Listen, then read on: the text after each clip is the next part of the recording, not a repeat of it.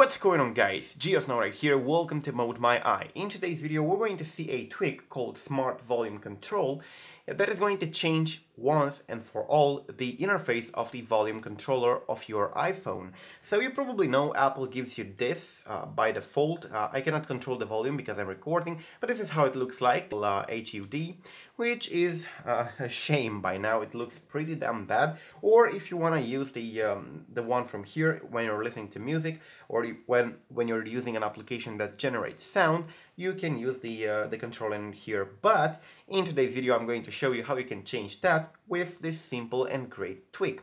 So moving on, we're going to go to its settings because this one has to be activated. It's called, as I said, Smart Volume Control. It's version 10.0 and um, this tweak is available on Cydia. I'm going to show you how you can download it. Anyways, when you install it, it comes disabled, so you must go in here and enable it first.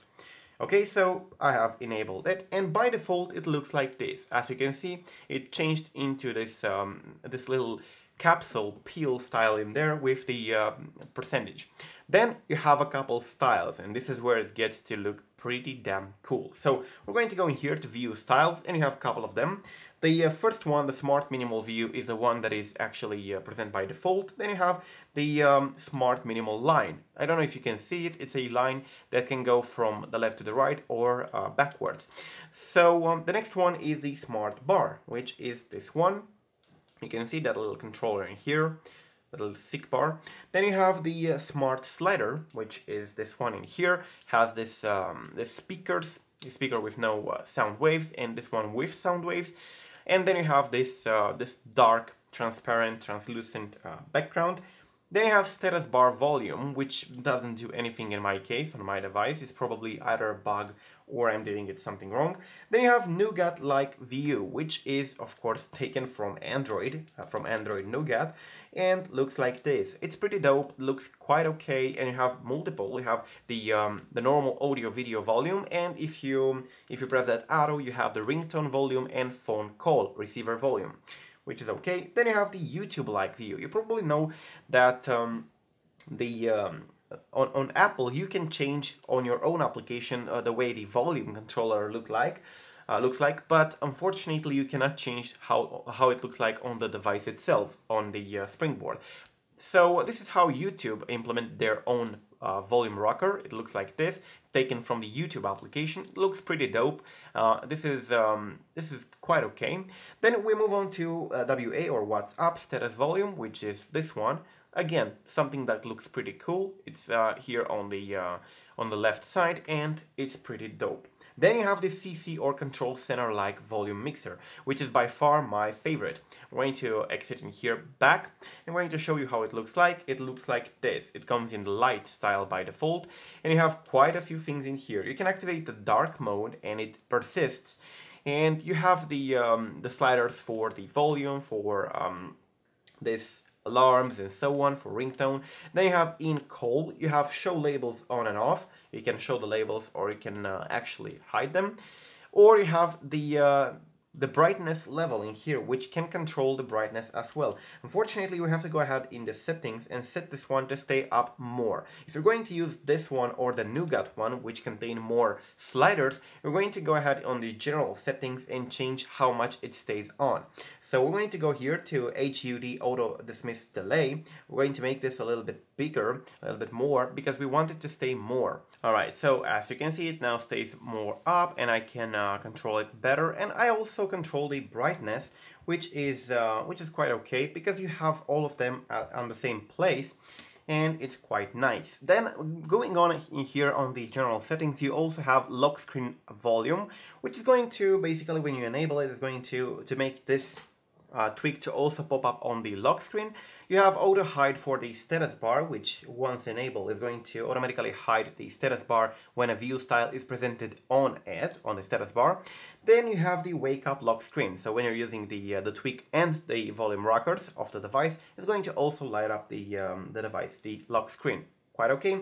Moving back on here, you have the HUD auto dismiss. As I said, you already know what it does. Uh, it is going to uh, control the time the HUD stays on. For example, this is the minimum and this is the maximum, which is 5 seconds.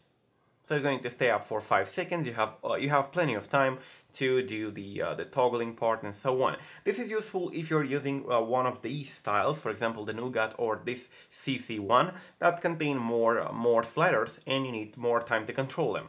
So I'm going to leave it to the maximum. Then you have the volume step count, which is going to control how much is going to increase or decrease the volume on a single uh, tap. Then you have the shadow. Now, if you want it to have a different shadow, a different uh, shadow offset, you can change that in here. And as you can see, it does have one. Now, you can uh, you can actually choose the color. The default one is dark gray, looks like this. And uh, of course, you can play with uh, various colors. I'm going to, to try to make it some bluish or some, oh, like this. Let's try to see. As you can see, it looks something like this. You can also control the position of the um, of the uh, shadow offset. So by uh, pressing on here and of course sliding to the left or to the right, you're controlling the uh, x and y coordinates. So something like this. You can see. Yeah, this is pretty much what you can do. Uh, and then I'm going to disable them like this.